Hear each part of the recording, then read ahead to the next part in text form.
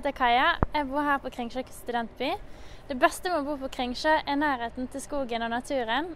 Jeg har marka og mange turmuligheter rett utenfor døren min. Supert for deg som ønsker en aktiv livsstil.